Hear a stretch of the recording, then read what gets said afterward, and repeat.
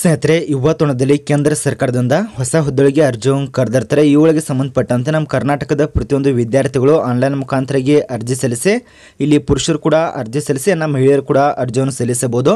ಈ ಹುದ್ದೆಗಳು ನಮ್ಮ ಕರ್ನಾಟಕ ರಾಜ್ಯದಲ್ಲಿ ಕೂಡ ಕೆಲಸ ಇರುತ್ತೆ. ಆದಷ್ಟು ಇವುಗಳಿಗೆ ಸಂಬಂಧಪಟ್ಟಂತೆ ಅರ್ಜಿ ಸಲ್ಲಿಸುವ ಅಭ್ಯರ್ಥಿಗೆ ಗುಡ್ ನ್ಯೂಸ್ ಜನ ಅಂದರೆ ಇಲ್ಲಿ ಒ ಬಿ ಸಿ ಅಭ್ಯರ್ಥಿ ಮತ್ತು ಎಸ್ ಎಸ್ ಟಿ ಅಭ್ಯರ್ಥಿಗೆ ಇಲ್ಲಿ ವಯಸ್ಸಿನ ಮಿತಿ ಕೂಡ ಸರಿಲಿಕ್ಕಿರುತ್ತೆ ಹೌದು ವೀಕ್ಷಕರೇ ಟು ಎ ಮತ್ತು ಟು ಬಿ ಹಾಗೂ ತ್ರೀ ಮತ್ತು ತ್ರಿ ಬಿ ಸೇರಿದ ಅಭ್ಯರ್ಥಿ ಕೂಡ ವಯಸ್ಸಿನ ಮಿತಿ ಸರಿಲಿಕ್ಕೆ ಅನುವಾಗುತ್ತೆ. ಇದನ್ನು ಹೊರತುಪಡಿಸಿ ಪಿ ಡಬ್ಲ್ಯೂ ಡಿ ಅಭ್ಯರ್ಥಿ ಜೊತೆಗೆ ವಿವಿಧ ಒಂದು ಕೆಡಿಗರಿಗೆ ಸಂಬಂಧಪಟ್ಟಂತೆ ಯಾವ ರೀತಿಯಾಗಿ ಸರಿಲಿಕ್ಕಿರುತ್ತೆ ಏನು, ಎಂತ ಅಂತ ತಿಳಿಯೋದು ಮುಂದುಗಡೆ ತಿಳಿಸ್ಕೊಡ್ತೇವೆ. ಇನ್ನು ಹುದ್ದೆಗೆ ಸಂಬಂಧಪಟ್ಟಂತೆ ಇಲ್ಲಿ ಅಭ್ಯರ್ಥಿಗೆ ನೀವೇನಾದರೂ ಅರ್ಜಿ ಸಲ್ಲಿಸಿದರೆ ಇನ್ನೊಂದು ಗುಡ್ ನ್ಯೂಸ್ ಏನಂದರೆ ನಿಮಗೆ ಯಾವುದೇ ರೀತಿಯಾಗಿ ಪರೀಕ್ಷೆ ಇರೋದಿಲ್ಲ, ದೈಹಿಕ ಪರೀಕ್ಷೆ ಕೊಡೋದಿಲ್ಲ ಮತ್ತು ಲಿಖಿತ ಪರೀಕ್ಷೆ ಕೊಡೋದಿಲ್ಲ ಡೈರೆಕ್ಟ್ ನಿಮಗೆ ಸಂದರ್ಶನ ಮುಖಾಂತರಾಗಿ ನೇರವಾಗಿ ಆಯ್ಕೆಯನ್ನು ಮಾಡ್ತಾರೆ. ಇನ್ನು ಹುದ್ದೆಗೆ ಸಂಬಂಧಪಟ್ಟಂತೆ ಶೈಕ್ಷಣಿಕ ಅರ್ಹತೆನಾಗಿರಬೇಕು ಆಯ್ಕೆದ ಅಭ್ಯರ್ಥಿಗೆ ಮಂತ್ಲಿ ವೇತನ ಸನಿ ಎಷ್ಟು ಇರುತ್ತೆ? ಇವುಗಳಿಗೆ ಸಂಬಂಧಪಟ್ಟಂತೆ ಯಾವ ರೀತಿಗೆ ಆನ್ಲೈನಲ್ಲಿ ಅರ್ಜಿಯನ್ನು ಸಲ್ಲಿಸಬೇಕು? ಮತ್ತು ಅರ್ಜಿ ಸಲ್ಲಿಸುವ ಹೊತ್ತಿನಲ್ಲಿ ಡಾಕ್ಯುಮೆಂಟ್ಸ್ಗಳು ಏನೇನು ಬೇಕಾಗುತ್ತೆ? ಇದಕ್ಕಿಂತ ಪ್ರಮುಖವಾದದ್ದು ಡಾಕ್ಯುಮೆಂಟ್ಸ್ ಸರ್ಫೇಸ್ನಲ್ಲಿ ಯಾವ್ಯಾವ ದಾಖಲಾತಿಗಳು ಬೇಕಾಗುತ್ತೆ? ಅದನ್ನು ಕೂಡ ವಿಡಿಯೋದಲ್ಲಿ ಸಂಪೂರ್ಣ ತಿಳಿಸ್ಕೊಡ್ತೇವೆ. ಆದಷ್ಟು ವಿಡಿಯೋನ ಸ್ಕಿಪ್ ಮಾಡದೆ ಕೊನೆ ತನಕ ನೋಡಿ. ಮತ್ತು ಇನ್ನೂರಿಗೆ ನಮ್ಮ ಚಾನಲನ್ನು ಸಬ್ಸ್ಕ್ರೈಬ್ ಮಾಡಿಲ್ಲ, ಈಗಲೇ ಚಾನಲ್ಗೆ ಸಬ್ಸ್ಕ್ರೈಬ್ ಮಾಡಿಕೊಂಡು ಬಾಜುಕಿನ ಬೆಲ್ ಬಟನ್ ಕೂಡ ಆಲ್ ಮೇಲೆ ಪ್ರೆಸ್ ಮಾಡ್ಕೊಳ್ಳಿ. ನಾವು ಹಾಕಲ್ಲ ಹೊಸ ಹೊಸ ಅಪ್ಡೇಟ್ಗಳು ನಿಮಗೆ ನೋಟಿಫಿಕೇಶನ್ ಮುಖಾಂತರ ಬಂದು ಬೇಗನೆ ತಲುಪ್ತದೆ. ಸ್ನೇಹಿತರೆ, ಇದು ಎರಡು ಸಾವಿರದ ಇಪ್ಪತ್ತ್ಮೂರ ಹೊಸ ನೇಮಕಾತಿ ಆಗಿರತ್ತೆ. ಆದಷ್ಟು ಇದು ಕೇಂದ್ರ ಸರ್ಕಾರದ ನೇಮಕಾತಿ, ಅಂದರೆ ಸರ್ಕಾರಿ ನೌಕರಿ ಆಗಿರತ್ತೆ. ಇದಕ್ಕೆ ಸಂಬಂಧಪಟ್ಟಂತೆ ಅರ್ಜಿ ಸಲ್ಲಿಸುವ ಅಭ್ಯರ್ಥಿಗಳು ಈ ಡಿಸ್ಪ್ಲೇ ಒಂದು ವೆಬ್ಸೈಟ್ ಕಾಣಿಸ್ತಾ ಇದೆಯಲ್ಲ ಈ ವೆಬ್ಸೈಟಿಗೆ ಭೇಟಿ ನೀಡಿಕೊಂಡು ಸಂಪೂರ್ಣವಾಗಿ ಆನ್ಲೈನಲ್ಲಿ ರಿಜಿಸ್ಟರ್ ಆಗಿ ರಿಜಿಸ್ಟರ್ ಆದಮೇಲೆ ಒಂದು ಐ ಡಿ ಸಿಗುತ್ತೆ. ಆ ಐ ಡಿನ ಲಾಗಿನ್ ಮಾಡಿಕೊಂಡು ಎಲ್ಲ ಒಂದು ಡಾಕ್ಯುಮೆಂಟ್ಸು ಅಟ್ಯಾಚ್ ಮಾಡಿಕೊಂಡು ಅರ್ಜಿಯನ್ನು ಸಲ್ಲಿಸಬಹುದು. ಇಲ್ಲಿ ಖಾಲಿರೋ ಹುದ್ದೆ ಪ್ರಕಾರ ಸಂಪೂರ್ಣವಾಗಿ ಕೇಂದ್ರ ಸರ್ಕಾರ ಅಂದರೆ ಸರ್ಕಾರಿ ನೌಕರಿ ಕೇಂದ್ರ ಸರ್ಕಾರದಿಂದ. ಮತ್ತು ಇದು ಖಾಯಂ ಹುದ್ದೆಗಳು. ಒಟ್ಟು ಖಾಲಿರೋ ಪೋಸ್ಟು ಎರಡು ನೂರ ಐವತ್ತು ಪೋಸ್ಟ್ಗಳು ಖಾಲಿ ಇರತ್ತೆ. ಇದಕ್ಕೆ ಸಂಬಂಧಪಟ್ಟಂತೆ ಮೂವತ್ತೊಂದು ಏಳು ಎರಡು ಸಾವಿರದ ಇಪ್ಪತ್ತ್ಮೂರು ತನಕ ಟೈಮ್ ಇರುತ್ತೆ. ಸಂಪೂರ್ಣವಾಗಿ ಆನ್ಲೈನ್ ಮೂಲಕವಾಗಿ ಇಲ್ಲಿ ಖಾಲಿರೋ ಪೋಸ್ಟ್ ಹೆಸರು ಆಫ್ರಿಟಿಸ್ ಹುದ್ದೆಗೆ ಸಂಬಂಧಪಟ್ಟಂತೆ ಟ್ರೈನಿಂಗ್ ಹುದ್ದೆಗೆ ಸಂಬಂಧಪಟ್ಟಂತೆ ಖಾಲಿ ಇರೋದರಿಂದ ಇಲ್ಲಿ ಪುರುಷ ಅಭ್ಯರ್ಥಿ ಕೂಡ ಅನುವಾಗುತ್ತೆ ಮತ್ತು ಮಹಿಳಾ ಅಭ್ಯರ್ಥಿ ಕೂಡ ಅನುವಾಗುತ್ತೆ. ಟೋಟಲಾಗಿ ಇದರಲ್ಲಿ ಎರಡು ಪ್ರಕಾರ ಪೋಸ್ಟ್ಗಳು ಖಾಲಿ ಇರುತ್ತೆ. ಮೊದಲನೇದಾಗಿ ಗ್ರಾಜ್ಯುಯೇಟ್ ಒಂದು ಅಫ್ರಿಟಿಸ್ ಹುದ್ದೆಗಳು ಇದು ಕೂಡ ಎರಡು ನೂರು ಪೋಸ್ಟ್ಗಳು ಖಾಲಿ ಇರತ್ತೆ ಮತ್ತು ಎರಡನೇದಾಗಿ ತಂತ್ರಜ್ಞಾನ ಅಫ್ರಿಟಿಸ್ ಹುದ್ದೆಗಳು ಐವತ್ತು ಪೋಸ್ಟ್ಗಳು ಖಾಲಿ ಇರತ್ತೆ. ಇದರಲ್ಲಿ ಯಾವ ಬೇಕಾದ ಹುದ್ದೆಗೆ ನೀವು ಆಯ್ಕೆಯನ್ನು ಮಾಡಿಕೊಂಡು ಶೈಕ್ಷಣಿಕ ಅರ್ಹತೆ ನೋಡಿ. ಮೊದಲಕ್ಕೆ ಇಲ್ಲಿ ಗ್ರಾಜ್ಯುಯೇಟ್ ಅಫ್ರಿಟಿಸ್ ಹುದ್ದೆಗಳಿಗೆ ಅಭ್ಯರ್ಥಿಗಳು ಮಾನ್ಯತೆ ಪಡೆದ ಮಂಡಳಿಯಿಂದ, ಅಂದರೆ ವಿಶ್ವವಿದ್ಯಾಲಯದಿಂದ ಬಿ ಎ ಮತ್ತು ಬಿ ಟೆಕ್ ಪಾಸ್ ಆಗಿರಬೇಕಾಗತ್ತೆ ಎರಡು ಒಂದು ಶೈಕ್ಷಣಿಕ ಅರ್ಹತೆ ಹೊಂದಿರಬೇಕು. ಇದನ್ನು ಹೊರತುಪಡಿಸಿ ತಸ್ತಮಾನ ಪಾಸಾಗಿರಬೇಕು. ಅಂದರೆ ಸಮಾನತೆ ಕಂಪ್ಲೀಟ್ ಆಗಿರಬೇಕಾಗತ್ತೆ. ಇನ್ನು ಎರಡನೇ ಹುದ್ದೆಗೆ ತಂತ್ರಜ್ಞಾನ ಅಪರೇಟಿಸ್ ಹುದ್ದೆಗೆ ಮಾನ್ಯತೆ ಪಡೆದ ಮಂಡಳಿಯಿಂದ, ಅಂದರೆ ವಿಶ್ವವಿದ್ಯಾಲಯದಿಂದ ಯಾವುದೇ ಒಂದು ವಿಷಯ ಆಗ್ಬೋದು, ಯಾವುದೇ ಒಂದು ವಿಭಾಗದಲ್ಲಿ ಡಿಪ್ಲೊಮಾ ಪಾಸಾಗಿರಬೇಕಾಗತ್ತೆ.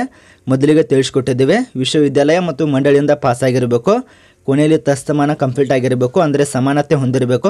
ಎರಡು ಸಾವಿರದ ಇಪ್ಪತ್ತ್ಮೂರರಂತೆ ವಯಸ್ಸಿನ ಮಿತಿಯಲ್ಲಿ ಕನಿಷ್ಠ ನಿಮಗೆ ಹದಿನೆಂಟು ವರ್ಷ ಆಗಿರಲೇಬೇಕು. ಯಾವುದೊಂದು ಸರ್ಕಾರಿ ಹುದ್ದೆಗೆ ನೀವು ಅರ್ಜಿಯನ್ನು ಸಲ್ಲಿಸಬೇಕು ಅನ್ಕೊಂಡಿದ್ರೆ ಹದಿನೆಂಟು ವರ್ಷ ಆಗಿರಲೇಬೇಕು. ಇನ್ನು ಗರಿಷ್ಠ ವಯಸ್ಸು, ಆ ಇಲಾಖೆ ಮತ್ತು ಆ ಹುದ್ದೆಗೆ ಸಂಬಂಧಪಟ್ಟಂತೆ ಎಷ್ಟು ಕೊಟ್ಟಿರ್ತಾರೆ ಅಂದರೆ ಅದರ ಮೇಲೆ ನಿಮಗೆ ಡಿಫ್ರೆಂಟ್ ಆಗುತ್ತೆ. ಇಲ್ಲಿ ಕೊಟ್ಟಿರೋ ಒಂದು ಗರಿಷ್ಠ ವಯಸ್ಸು ನಲವತ್ತೈದು ವರ್ಷದ ತನಕ ಅನುವಾಗುತ್ತೆ ಇಲ್ಲಿ ಸರಿಲಿಕ್ಕೆ ಅದು ನೋಡೋದಾದರೆ ಮೊದಲನೇದಾಗಿ ಒ ಬಿ ಸಿ ಅಭ್ಯರ್ಥಿಗೆ ಇಲ್ಲಿ ಮೂರು ವರ್ಷದ ತನಕ ಸರಿಲಿಕ್ಕಿರತ್ತೆ ಇದನ್ನು ಹೊರತುಪಡಿಸಿ ಎಸ್ ಸಿ ಮತ್ತು ಎಸ್ ಟಿ ಅಭ್ಯರ್ಥಿಗೆ ಇಲ್ಲಿ ಐದು ವರ್ಷದ ತನಕ ಸರಿಲಿಕ್ಕಿರತ್ತೆ ಪಿ ಡಬ್ಲ್ಯೂ ಡಿ ಅಭ್ಯರ್ಥಿಗೆ ಇಲ್ಲಿ ಹತ್ತು ವರ್ಷದ ತನಕ ಸರಿಲಿಕ್ಕಿರತ್ತೆ ಇದನ್ನು ಯಾವ ರೀತಿಯಾಗಿ ಸರಿಲಿಕ್ಕೆ ಅನುವಾಗುತ್ತೆ ಅಂದರೆ ಇಲ್ಲಿ ನಲವತ್ತೈದು ವರ್ಷ ಇದೆಯಲ್ಲ ಎಸ್ ಸಿ ಎಸ್ ಟಿ ಅಭ್ಯರ್ಥಿಗೆ ಇಲ್ಲಿ ಗರಿಷ್ಠ ವಯಸ್ಸು ಐವತ್ತು ವರ್ಷ ಆಗುತ್ತೆ. ಇನ್ನು ಒ ಬಿ ಸಿ ಅಭ್ಯರ್ಥಿ ಸಂಬಂಧಪಟ್ಟಂತೆ ಆದಷ್ಟು ನಲವತ್ತೆಂಟು ವರ್ಷ ಆಗುತ್ತೆ. ಪಿ ಡಬ್ಲ್ಯೂ ಡಿ ಅಭ್ಯರ್ಥಿಗೆ ಇಲ್ಲಿ ಐವತ್ತೈದು ವರ್ಷ ಆಗುತ್ತೆ. ಈ ರೀತಿ ನಮಗೆ ವಯಸ್ಸಿನ ಮಿತಿ ಕೂಡ ಸರಿಲಿಕ್ಕೆ ಅನುವಾಗುತ್ತೆ. ಇದು ಪುರುಷ ಅಭ್ಯರ್ಥಿ ಕೂಡ ಒಂದೇ ರೀತಿಯಲ್ಲಿ ಸರಿಲಿಕ್ಕಿರುತ್ತೆ ಮತ್ತು ಮಹಿಳಾ ಅಭ್ಯರ್ಥಿ ಕೂಡ ಒಂದೇ ರೀತಿಯಲ್ಲಿ ಸಡಿಲಿಕ್ಕಿರುತ್ತೆ ಇನ್ನು ಆಯ್ಕೆಯಾದ ಅಭ್ಯರ್ಥಿಗೆ ಮಂತ್ಲಿ ವೇತನ ಸೇನೆ ಆದಷ್ಟು ಟ್ರೈನಿಂಗ್ಗೆ ಸಂಬಂಧಪಟ್ಟಂತೆ ವೇತನ ಸೇನೆ ಇರೋದ್ರಿಂದ ಎಂಟು ಸಾವಿರದಿಂದ ಒಂಬತ್ತು ಸಾವಿರವರೆಗೆ ಮಂತ್ಲಿ ವೇತನ ಆಗಿರತ್ತೆ. ಇಲ್ಲಿ ಮೊದಲಿಗೆ ತಿಳಿಸ್ಕೊಟ್ಟಿದ್ದೀವಿ, ಆಯ್ಕೆ ಪ್ರಕ್ರಿಯೆಯಲ್ಲಿ ಮೊದಲದ ನಿಮಗೆ ಅರ್ಹತೆ ಚೆಕ್ ಮಾಡ್ತಾರೆ. ಅಂದರೆ ನಿಮ್ಮ ಬಯೋಡೇಟಾ ಎಷ್ಟು ಶೈಕ್ಷಣಿಕ ಅರ್ಹತೆ ಆಗಿದೆ, ನಿಮ್ಮ ದಾಖಲಾತಿಗಳು ಎಲ್ಲ ಪರಿಶೀಲನೆ ನಡೆಸಿ ಕೊನೆಯಲ್ಲಿ ಸಂದರ್ಶನ ಇರತ್ತೆ. ಅದರಲ್ಲಿ ಮುಖ್ಯವಾದದ್ದು ದಾಖಲಾತಿ ಪರಿಶೀಲನೆ ನಡೆಸ್ತಾರೆ. ಯಾವೊಂದು ಡಾಕ್ಯುಮೆಂಟ್ಸ್ ಹೊಂದಿದ್ದೀರಾ, ಯಾವೊಂದು ಡಾಕ್ಯುಮೆಂಟ್ಸ್ ಹೊಂದಿಲ್ಲ ಅಂತ ಅದರಲ್ಲಿ ನೀವು ಪಾಸ್ ಆದರೆ ನಿಮಗೆ ಜಾಬ್ ಸಿಗುತ್ತೆ ಮತ್ತು ಅಫ್ರಿಟಿ ಸುದ್ದಿಗೆ ನೀವು ಜಾಬ್ ಆಗ್ಬೋದು. ಮತ್ತೊಂದು ಸಲ ವೆಬ್ಸೈಟ್ ನೋಡಿ, ಈ ವೆಬ್ಸೈಟಿಗೆ ಭೇಟಿ ನೀಡಿಕೊಂಡು ರಿಜಿಸ್ಟರ್ ಆಗಿ ರಿಜಿಸ್ಟರ್ ಆದಮೇಲೆ ಒಂದು ಐ ಡಿ ಸಿಗುತ್ತೆ. ಆ ಐ ಡಿದನ್ನು ಲಾಗಿನ್ ಮಾಡಿಕೊಂಡು ಅರ್ಜಿಯನ್ನು ಸಲ್ಲಿಸಬಹುದು. ಅಥವಾ ನೀವೇ ಒಂದು ವಿಡಿಯೋ ಮಾಡಿ ತಿಳಿಸ್ಕೊಡಿ ಅಂದರೆ ನಾನು ನಿಮಗೋಸ್ಕರ ಒಂದು ವಿಡಿಯೋ ಮಾಡಿ ತಿಳಿಸ್ಕೊಡ್ತೇವೆ. ಆದಷ್ಟು ನಮ್ಮ ಕಮೆಂಟ್ ಬಾಕ್ಸ್ಲಿ ಕಮೆಂಟ್ ಮಾಡಿ. ಇಲ್ಲಿ ಪ್ರಮುಖ ದಿನಾಂಕ ಹನ್ನೊಂದು ಏಳು ಎರಡು ಸಾವಿರದ ಇಪ್ಪತ್ತ್ಮೂರಂದ ಅರ್ಜಿ ಪ್ರಾರಂಭವಾಗಿದೆ ಕೊನೆಯ ದಿನಾಂಕ ಮೂವತ್ತೊಂದು ಏಳು ಎರಡು ಸಾವಿರದ ಇಪ್ಪತ್ತ್ಮೂರು ತನಕ ಅವಕಾಶ ಇರೋದರಿಂದ ಈಗಲೇ ಹೋಗಿ ಆನ್ಲೈನ್ ಸೆಂಟ್ರಿಗೆ ಇಲ್ಲಿ ಭೇಟಿ ನೀಡಿಕೊಂಡು ಅರ್ಜಿ ಸಲ್ಲಿಸಿ. ಯಾವುದೇ ರೀತಿಯಾಗಿ ಅರ್ಜಿ ಶುಲ್ಕ ಇರೋದಿಲ್ಲ. ನೀವು ಫ್ರೀಗೆ ಅರ್ಜಿ ಸಲ್ಲಿಸಿ ಒ ಬಿ ಸಿ ಅಭ್ಯರ್ಥಿ ಆಗ್ಬೋದು. ಅಥವಾ ಎಸ್ ಸಿ ಎಸ್ ಟಿ ಅಭ್ಯರ್ಥಿ ಕೂಡ ಆಗ್ಬೋದು. ಸಾಮಾನ್ಯ ಅಭ್ಯರ್ಥಿಗೆ, ಮಾಜಿ ಸೈನಿಕ ಅಭ್ಯರ್ಥಿಗೆ ಅರ್ಜಿ ಶುಲ್ಕ ಇರೋದಲ್ಲ.